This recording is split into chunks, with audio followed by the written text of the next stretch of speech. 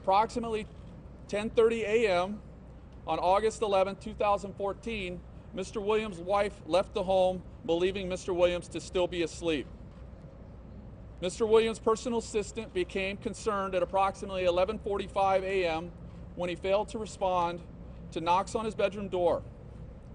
At that time, the personal assistant was able to gain access to Mr. Williams' bedroom and entered the bedroom to find Mr. Williams clothed in a seated position, unresponsive, with a belt secured around his neck, with the other end of the belt wedged between the, closet, the closed closet door and the door frame.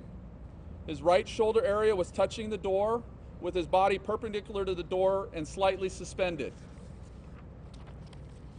Mr. Williams at that time was cool to the touch with rigor mortis present in his body and livor mortis positioned appropriately for the position he was located in.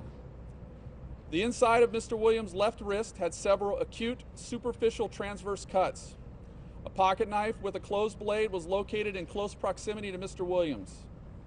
The pocket knife was examined and a dry red material was located on the blade, excuse me, blade of the knife which appeared consistent to dried blood.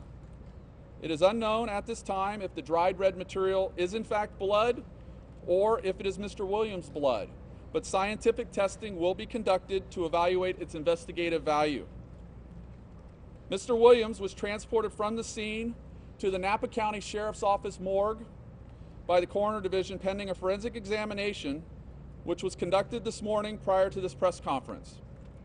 The forensic examination did not reveal any injuries indicating Mr. Williams had been in a struggle or a physical altercation prior to him being located deceased the preliminary, and I again say preliminary, results of the forensic examination revealed supporting physical signs that Mr. Williams' life ended from asphyxia due to hanging.